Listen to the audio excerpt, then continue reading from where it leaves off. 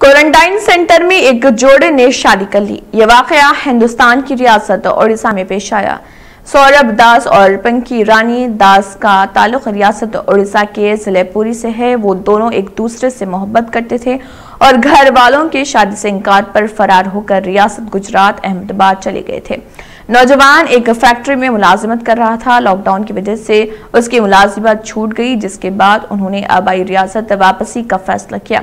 वो जैसे ही आबाई मौजे पहुँचे, उन्हें एहतियाती इकदाम के तौर पर क्वारंटाइन सेंटर में रखा गया, जहाँ पता चला कि लड़की हामिला है।